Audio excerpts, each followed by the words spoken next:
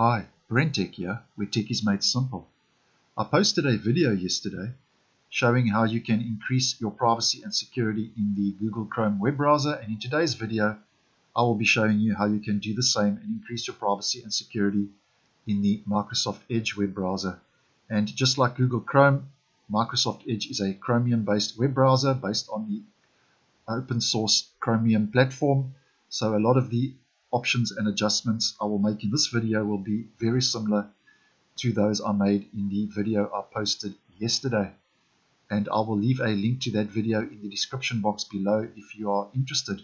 Now, just like Google Chrome, there is a lot of backwards and forwards so-called phone in home between the Microsoft Edge browser and Microsoft itself when you are using it. And it doesn't matter how many settings you try and adjust or change, you will never completely stop that process of um, the so-called phone in home between Edge and Microsoft. I'm sure though that some of these settings I will show you today and adjusting them should give you a little bit more peace of mind if that is a concern of yours. Now, just like Google Chrome, the first thing I suggest is to get yourself a good ad blocker. I use Malwarebytes Browser Guard, which you can get in the Chrome Web Store, which is also available in Microsoft Edge, or you can download it from their website for free. And I just found that this is a very useful application, which gives me a so-called first line of defense against ads and trackers, malware, scams, potentially unwanted programs, and so on. Another um, good ad blocker you can use is actually called Ad Blocker or Ad Blocker Plus, and that can also be found in the uh, Chrome Web Store as well. Now to change some settings and adjust some settings, let's go to the top right to the three dotted menu, go down to settings, and the first section we're going to look at is profiles under your profile. And then obviously if you are signed into your Microsoft account in Edge, you can sign out, but this obviously is not recommended um, because then you won't be synced across your devices. So uh, another thing you can try is you can go to sync and then you can just turn off uh, features.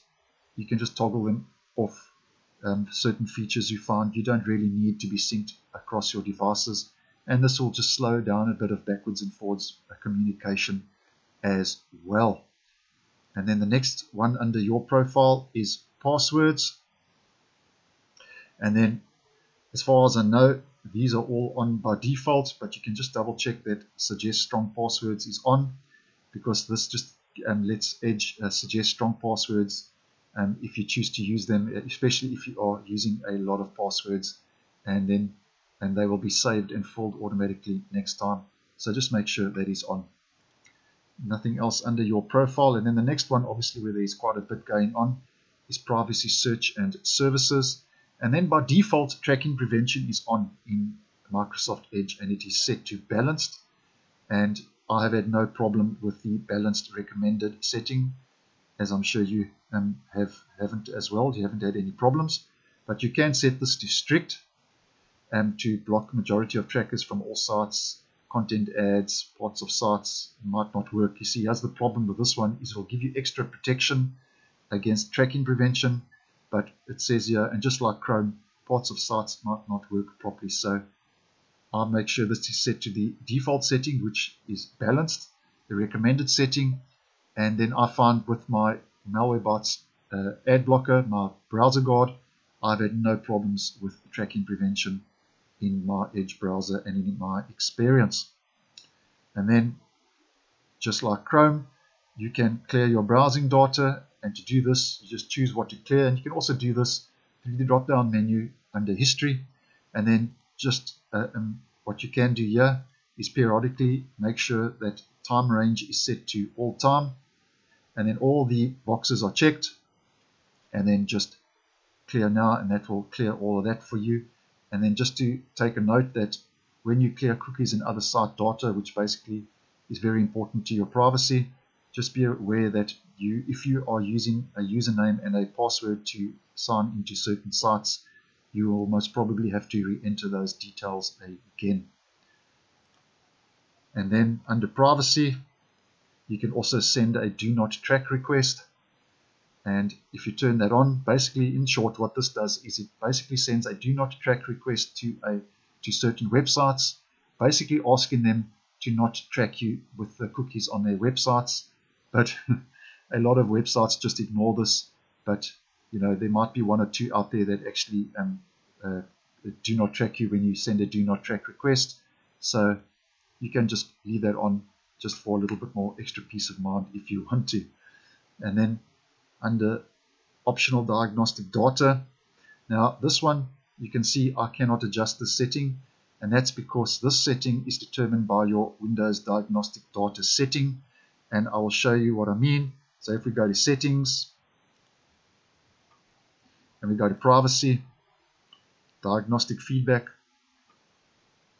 if you have optional diagnostic data on, you will be able to use that setting. I have required diagnostic data, which um, uh, basically slows down the process of you know the data transfer between Microsoft and my um, my Windows 10 operating system.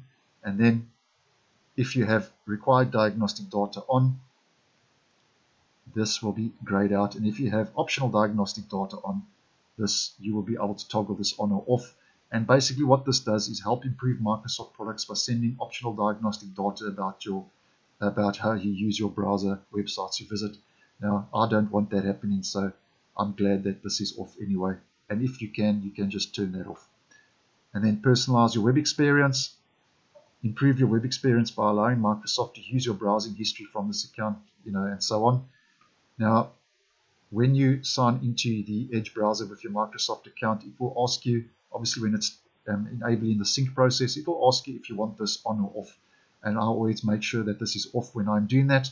But if you want to double check, you can just come here and turn that setting off.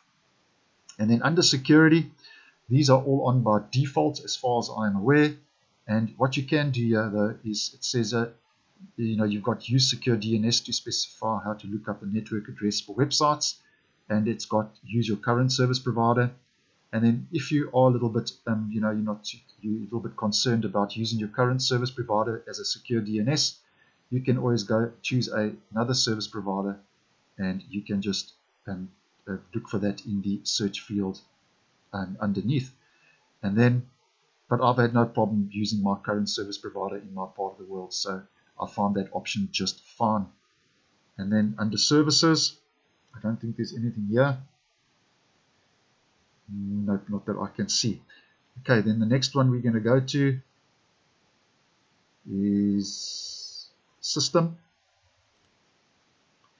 And just like Google Chrome, I always make sure that continue running background apps when Microsoft Edge is closed is toggled off. And the reason for this is, you know, if you have this toggled on, when you close your Edge browser, it will continue running background apps when you close Microsoft Edge. And one of the main reasons I turn this off is because I don't want those um, processes and apps running in the background when I'm not using the Edge web browser. And it just, you know, it just helps a, a little bit less of the so-called backwards and forwards communication or phoning home when you uh, are not using your Microsoft Edge web browser as well.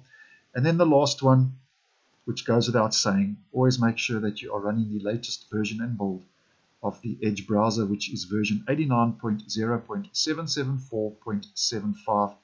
For most users, this process will happen automatically, but and it, obviously it goes without saying that to have the latest version and build, that means you have the latest security fixes, the latest privacy fixes, and you know, and all the patches which when it comes to your online privacy and security are very important. So always make sure you are up to date with your Microsoft Edge web browser.